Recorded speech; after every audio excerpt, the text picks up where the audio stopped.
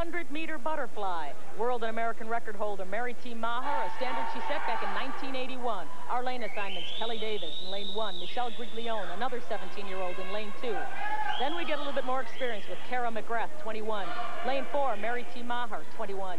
Jenna Johnson, 18 years of age. Melanie Budemeyer, Angie Wester, and in the outside lane, Terry O'Laughlin. But the race is between Johnson and Meagher.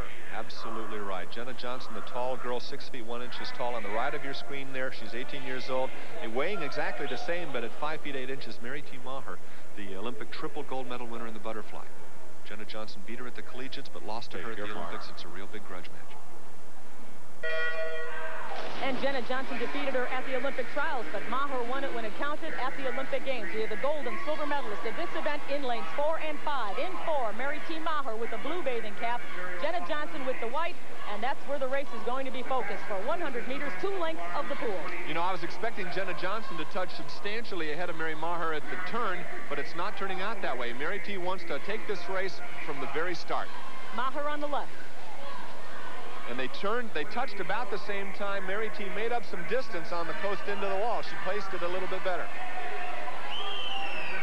And this is a friendly rivalry, as you said so many times. These two will hug each other first, depending on, doesn't matter rather who wins or loses. Mary T Meagher out in front with approximately 15 meters remaining. They turned two-tenths of a second slower than world record pace, so we're certainly on a meet record here. It is still Mary T. Meagher in the lead with lane four. Jenna Johnson in lane five and second in lane number three. Kara McGrath looks like she will bring up fourth place. Four, five, and six.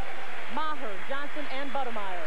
Mary T owned that race. From the start to the finish, she never let Jenna get ahead of her. She never had to play catch-up. And I think Mary T has been practicing for her sprints. Something we ought to note since this is World Team Trials. Not only does do those two swimmers make the World Team, but also Mary T has earned the right to swim the butterfly leg on the medley relay by her win here. So this is a possible two-medal swim for Mary T Meagher. Let's watch the finish as they come to the wall. Mary T already in the middle with the lead, half body length. Jenna Johnson, her head just a little bit behind.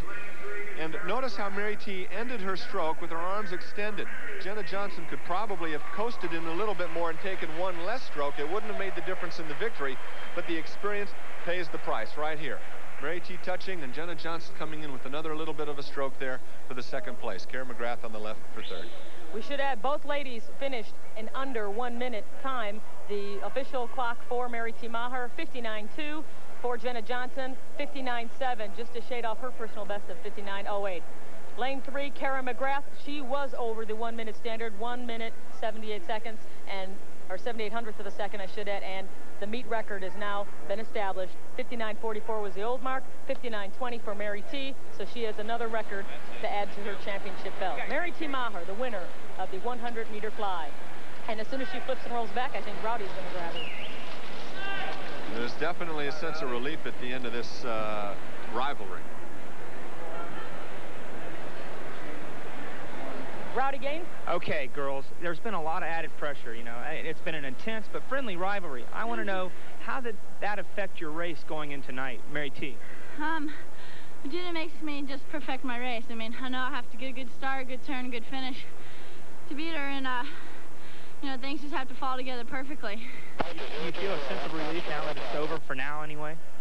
Yeah, yeah, I do. I mean, it's a, it's a race I really look forward to now, the rivalry and, and you know, having to hope that strategy goes well and stuff like that. So. Jenna, nobody likes to lose, but, I mean, how do you rate your performance tonight? Well, I'd have to say that I'm a little bit dissatisfied. I wanted to break at least my best time, and uh, I didn't, but it felt good. I'm lucky I got second. do, you, do you, now, what do you think about these Germans? What do you think they're thinking right now? They, they, they know about you two for sure. What do you think their thoughts are going to be once they hear about you two guys? I think they're going to be a little worried.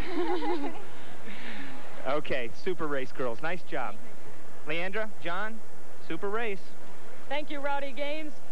American, world, and now meet record holder Mary T. Meagher takes yet another first in her outstanding career as a butterfly specialist in women's swimming. We'll be back with more men's competition after this. 5th through Sunday, August.